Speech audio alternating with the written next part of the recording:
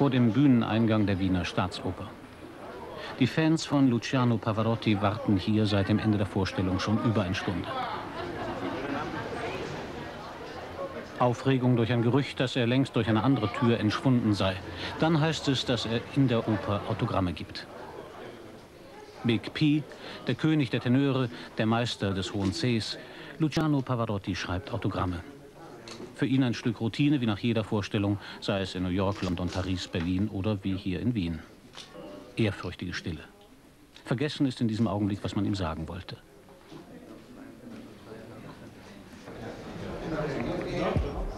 Eine Viertelstunde später in einem Hotel. Noch immer hat Pavarotti keine Zeit gefunden, das Kostüm auszuziehen.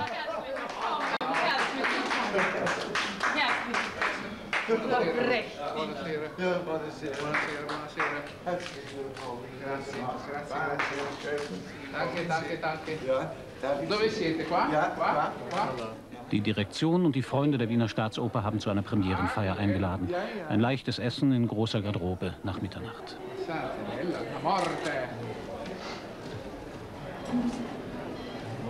Puoi prendere la mia roba? Sì, la roba.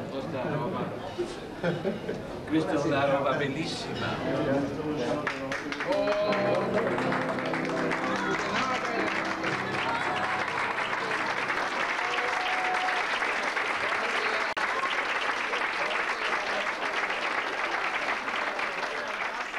Hier feiert die bessere Wiener Gesellschaft ihren Star des Abends, den 1935 in Modena geborenen Sohn eines Bäckers, der es durch die Perfektion seines Gesangs zu Wohlstand gebracht hat.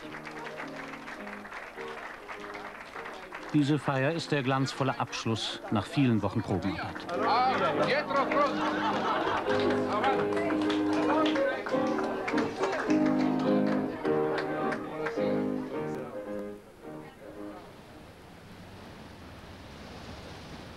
drei Wochen zuvor. Als 300. Inszenierung nach der Wiedereröffnung der Wiener Staatsoper im Jahr 1955 wird Giuseppe Verdis Aida vorbereitet. Luciano Pavarotti wurde bereits vor zwei Jahren für die Partie des Radames verpflichtet.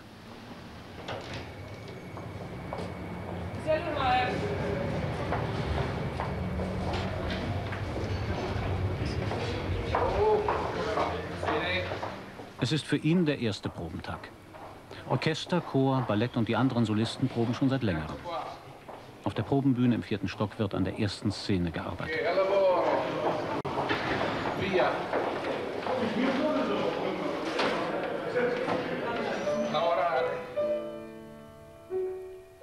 Luciano probt mit Victoria Vergara, die die Amneris singt.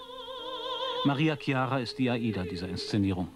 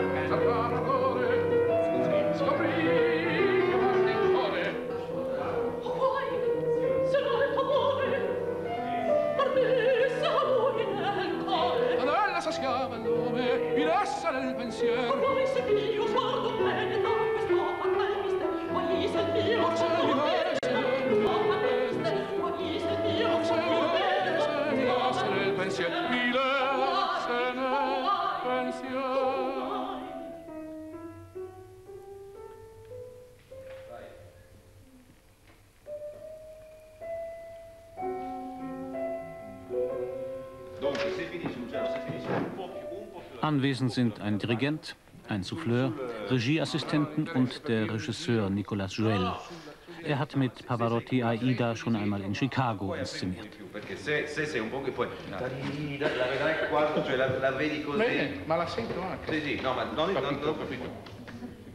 no, dopo lo rifacciamo dall'inizio. No, finisci, solo le cose però con... Bene, Dies ist erst die vierte Aida-Inszenierung für Luciano Pavarotti. Im Vergleich zu La Bohème, mit der er 1961 debütierte und die er seitdem unzählige Male gesungen hat, ist Aida für ihn relatives Neuland.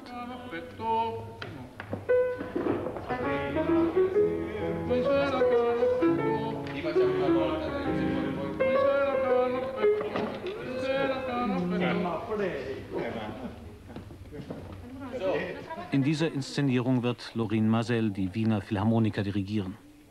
Um seine Solisten kümmert er sich in doppelter Funktion, als Direktor der Wiener Staatsoper, der nach dem Rechten sieht, und als musikalischer Leiter. Sì,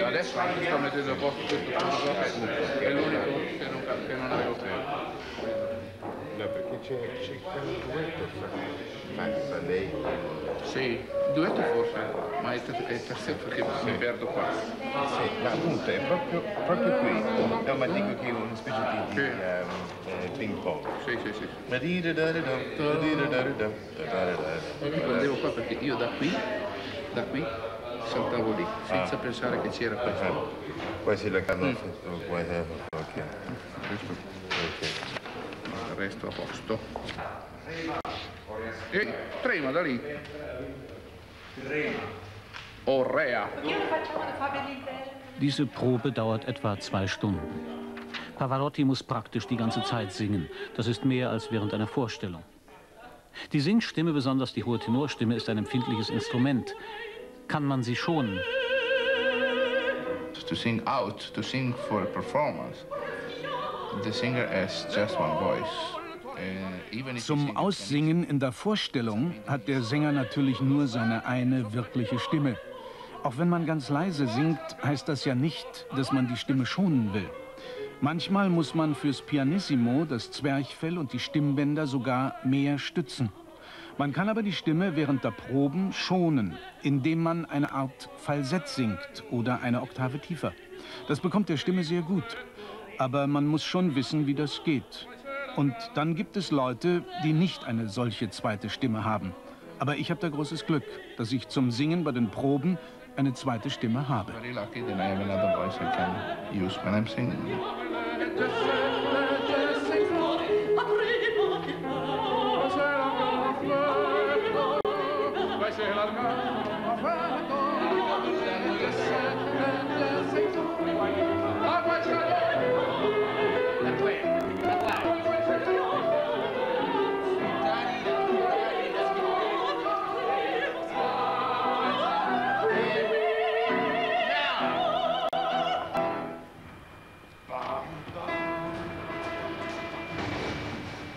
Während in der Oper mit den Sängern geprobt wird, entstehen in der Bühnenwerkstatt die Kulissen. Pappmaché wird heute nicht mehr verwendet. Die ägyptischen Versatzstücke werden nach den Entwürfen des Bühnenbildners Carlo Tomasi aus Styropor geschnitzt. 260 Mitarbeiter haben die Bühnenwerkstätten der österreichischen Bundestheater, die größten Bühnenwerkstätten der Welt. 180 von ihnen arbeiten etwa drei Wochen an den AIDA-Bildern und Requisiten.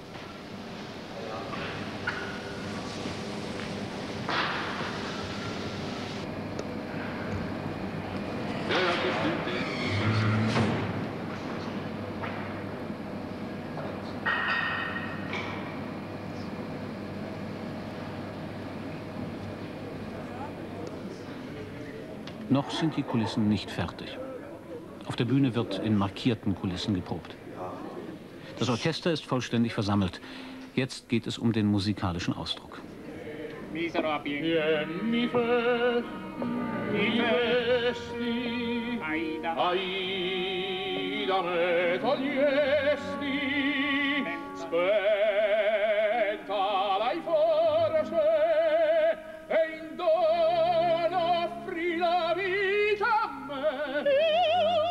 amore t'origine no vi e i disperati aneliti nell'orde fuggitive solcati il padre. Ed essa sparvi di più dove la seppe. Di lei di lei la tua carotta tra le basi e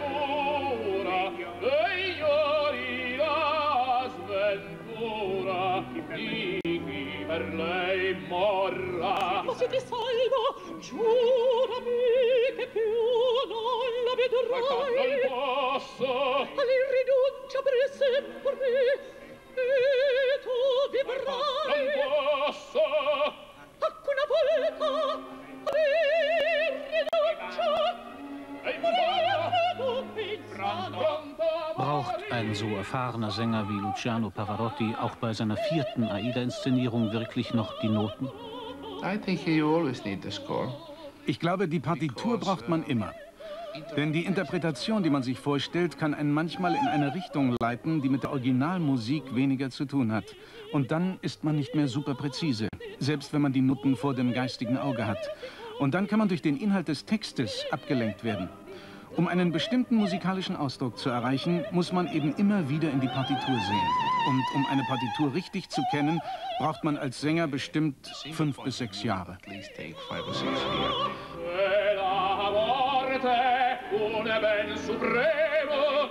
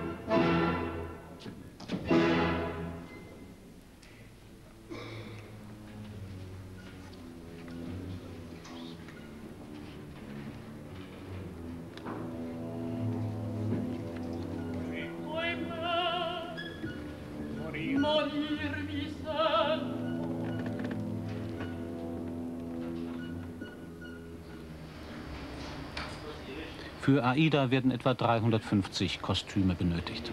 Die Entwürfe dafür stammen, wie das Bühnenbild, von Carlo Tomasi. Tomasi hat auch gleich Stoffproben mitgeliefert.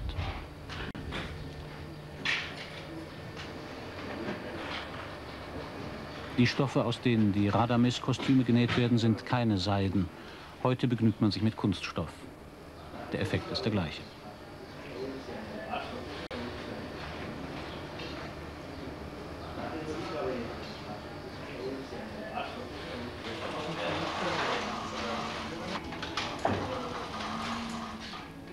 Die Kostüme für die Solisten werden natürlich nach Maß angefertigt.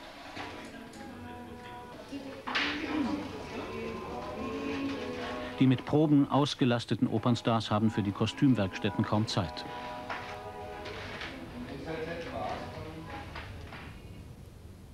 Puppen mit ihren Maßen dienen als Stellvertreter.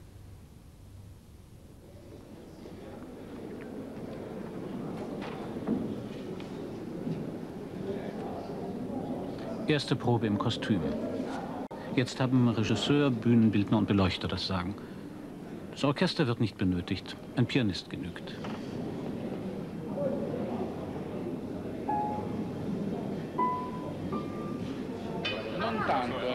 Die Nils-Szene ist besonders kritisch.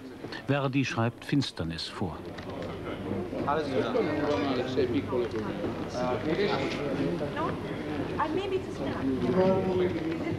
Sei piccolo. Maybe it's a snack. Is it all right? Ma dimmi.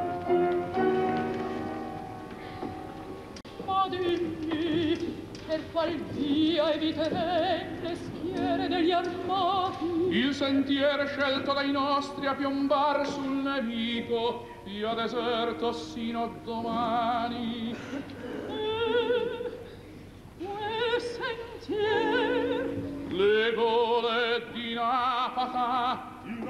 Napata le gole, ivi saranno i miei. oh chi ci ascolta, Dai dal padre degli Etiopi il re. tu, Amonastro, tu, il re. Lui che disse,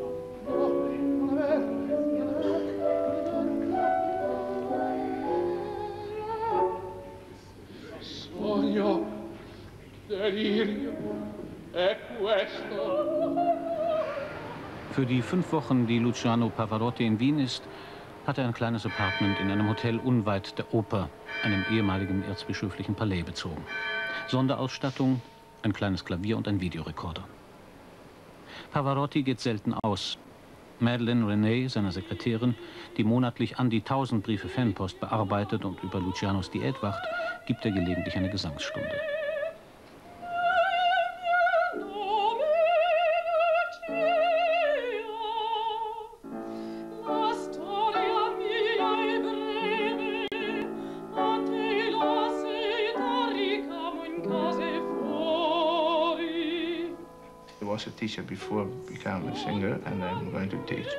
Ich war ja Lehrer, bevor ich Sänger wurde. Ich habe jetzt eine Schülerin und eines Tages wird sie sicher ohne meine Hilfe auskommen. Sie tritt ja auch schon auf. Und dann werden andere Schüler kommen. what uh, is in my mind now.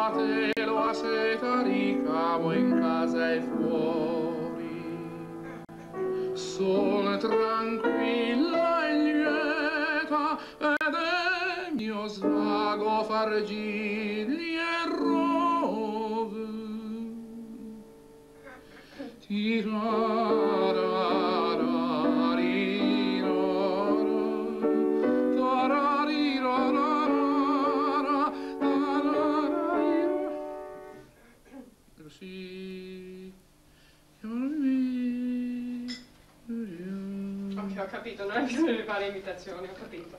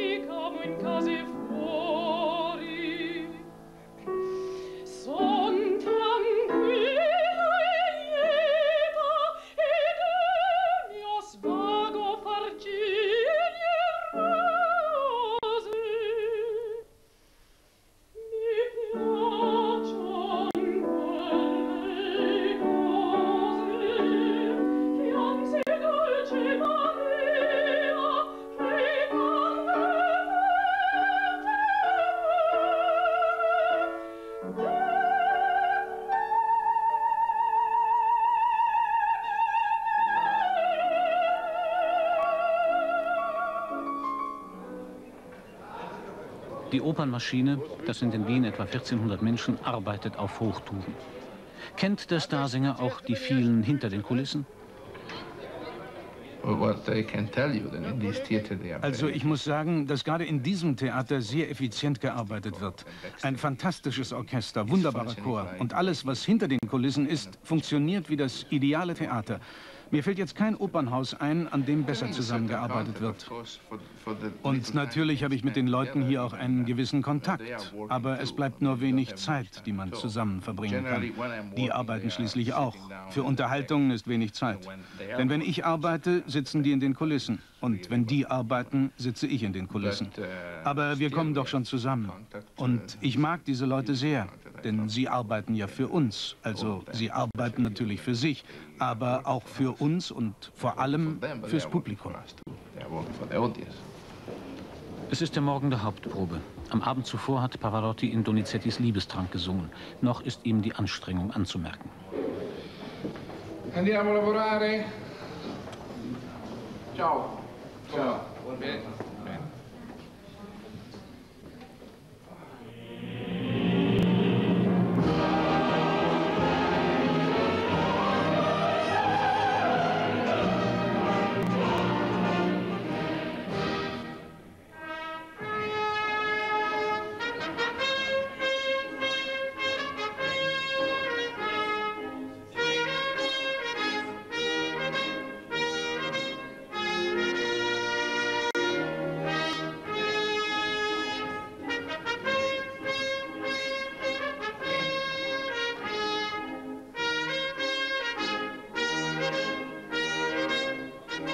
Der Triumphakt in Aida gehört zum prächtigsten, was die italienische Oper zu bieten hat.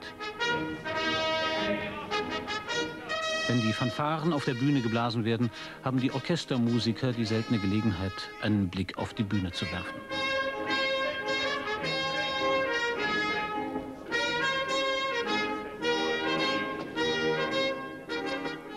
Selbst jetzt sind noch nicht alle Akteure auf der Bühne.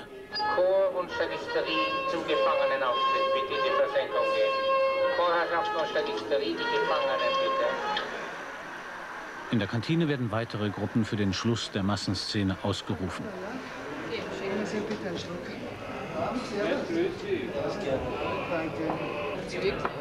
Die Balletttänzer haben ihren Dienst schon hinter sich. Haben Sie noch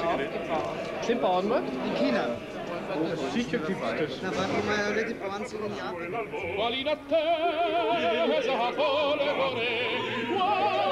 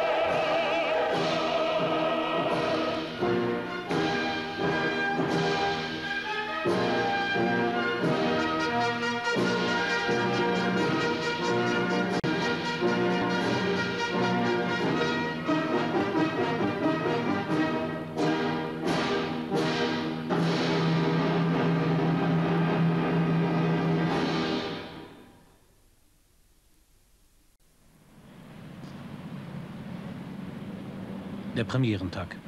Die Opernmaschine kommt in Gang. Letzte Vorbereitung.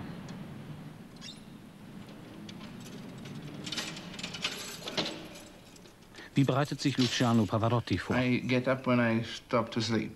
I don't give to myself any Ich stehe auf, wenn ich nicht weiter schlafen kann. Am Tag der Vorstellung stelle ich nicht den Wecker. Dann trinke ich erst einmal einen Kaffee und danach probiere ich sofort meine Stimme aus, um zu hören, ob sie da ist. The day of the performance, I, I, I really don't eat very much. I eat very little. And, uh, Am Tag der Vorstellung esse ich sehr wenig. Nach einer kleinen Mahlzeit lege ich mich noch einmal kurz schlafen. Dann gehe ich etwas raus, mache ein paar Übungen für die Atmung.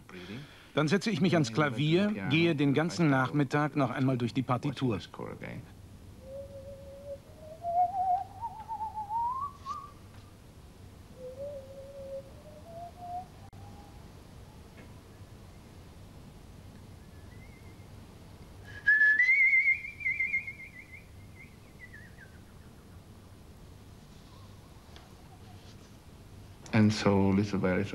Naja, und dann wird's Zeit, mit der Partitur unterm Arm zur Vorstellung zu gehen. The opera house with the score, of course. 70, 71, 72. Noch sind es zwei Stunden bis zum Beginn der Vorstellung. Wer hier in den letzten zwei Tagen und Nächten ausgeharrt hat, kann eine Nummer vorweisen, die zum Kauf einer Stehplatzkarte berechtigt. Bitte? 75. Hat die Nummer, kommt jetzt aus verlesen. Bitte gehen Sie nach hinten, ganz nach hinten. Wir merken uns das genau. Sie kommen da nicht hinein, das 65. Hat man diese Kontrolle passiert, ist das Opernglück schon greifbar nah. Ein letztes Mal warten auf den mitgebrachten Campinghockern.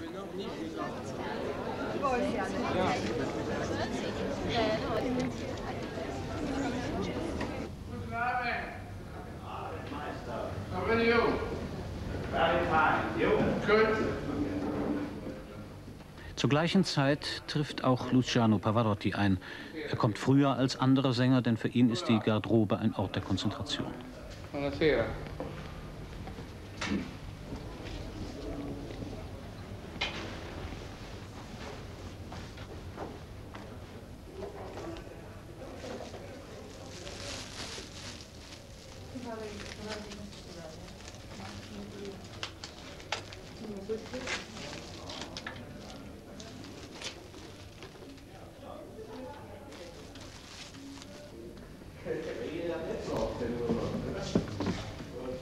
Im Keller bereiten sich die Theaterfeuerwehrleute auf ihren Auftritt vor. Erst wenn sie das Haus inspiziert haben, wird der Zuschauerraum für das Publikum freigegeben.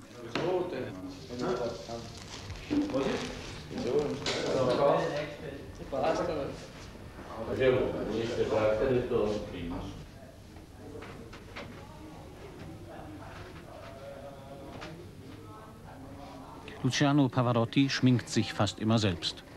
Er betrachtet auch das Schminken als eine Konzentrationsübung.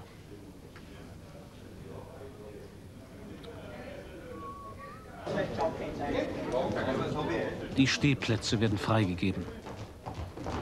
Mit einem fest verknoteten Tuch wird der Stehplatz reserviert.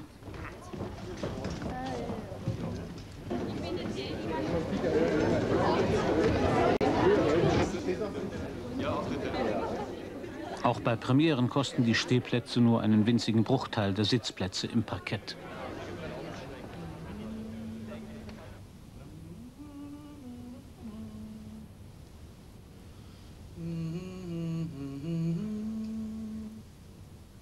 When a role is uh, this kind of uh,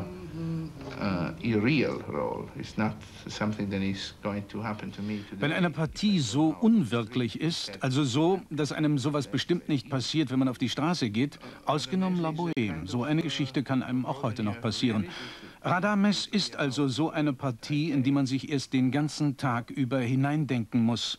Und wenn man in die Oper geht, dann ist man praktisch dieser Mann. Mit Enthusiasmus am Anfang, dann kommt man als Sieger aus dem Krieg, ist sich seiner Rolle für Ägypten bewusst und dann die Enttäuschung, wenn sie einem Amneris statt Aida geben wollen, die man ja sehr liebt.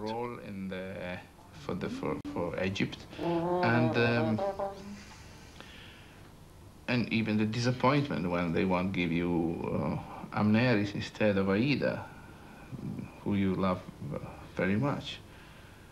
Schließlich entscheidet man sich für diese Liebe zu sterben, anstatt die Königstochter Amneris zu heiraten. Und das ist ja eine Sache, die heute so wohl nicht passieren würde. Aber man weiß ja nie. Something that today probably will not happen, but you never know.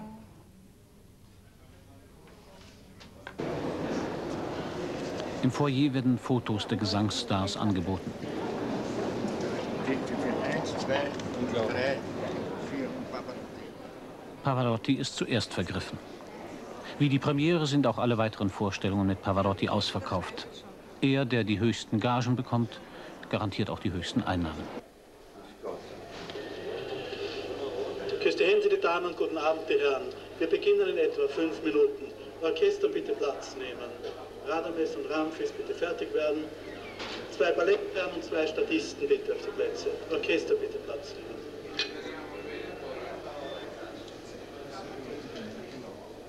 Das Einsingen ist für den Tenor bei Aida besonders wichtig. Seine Arie, Celeste Aida, beginnt drei Minuten, nachdem der Vorhang sich gehoben hat.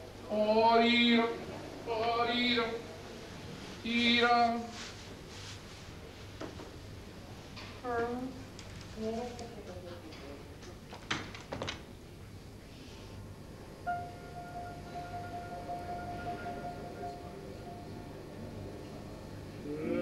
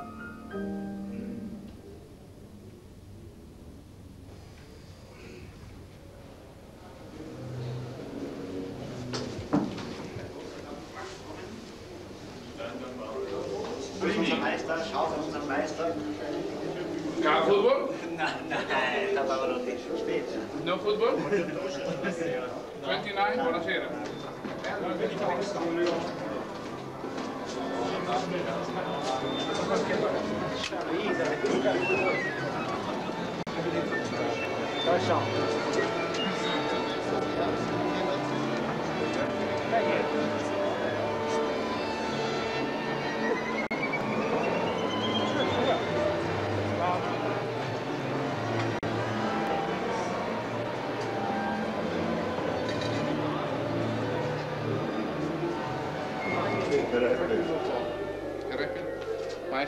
In buchstäblich letzter Minute sieht Lorin Marcel nach seinem Star.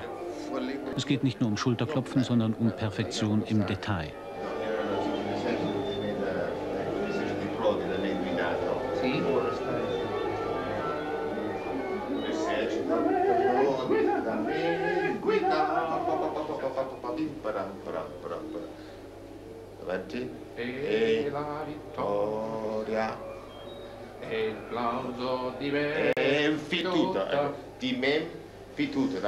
La stessa cosa. Tanca eh. tanca, tanca tanca. Sì, Tanca tanca. perché altrimenti devo eh, saltare quei, quei, quegli ottoni. So,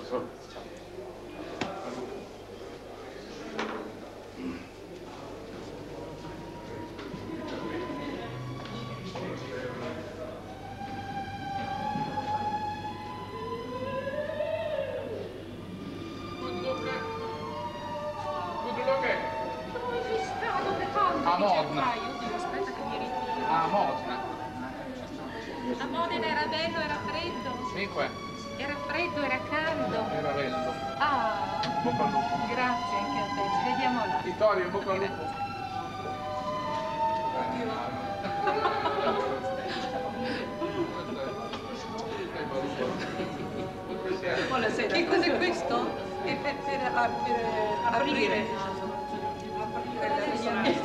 That's good. Allora, come stai? Grazie a lei.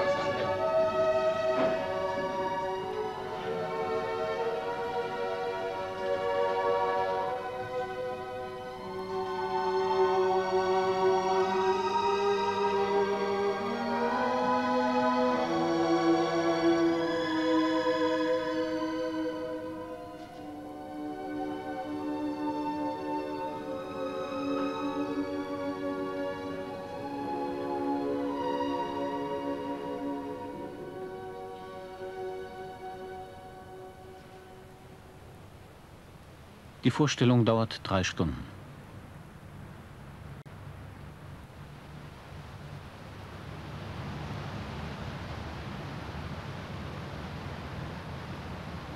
Sterbeszene und Schluss.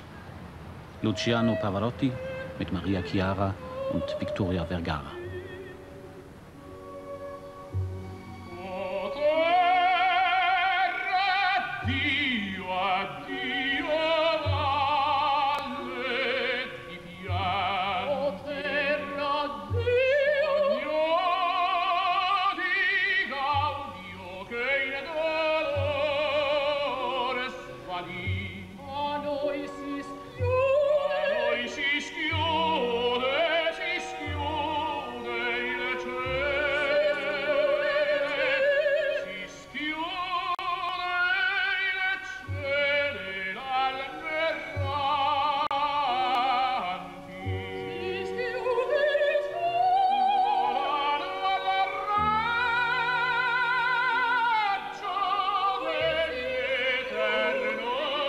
Amen.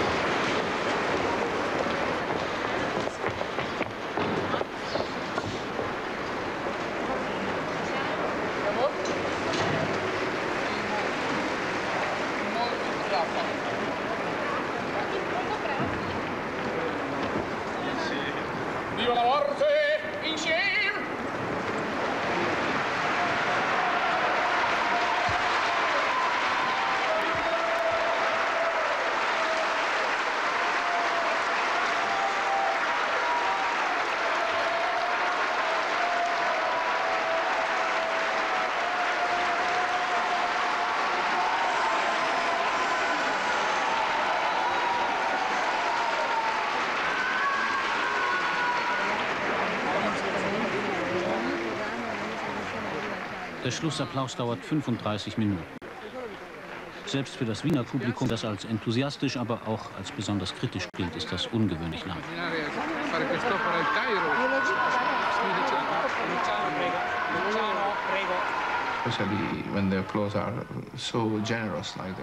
Besonders wenn der Applaus so großzügig wie hier gegeben wird, bringt er einen aus der Partie, aus der Rolle wieder in die Theaterwirklichkeit zurück.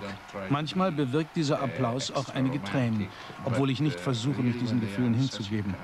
Aber so ein unglaublicher Applaus bewegt einen doch.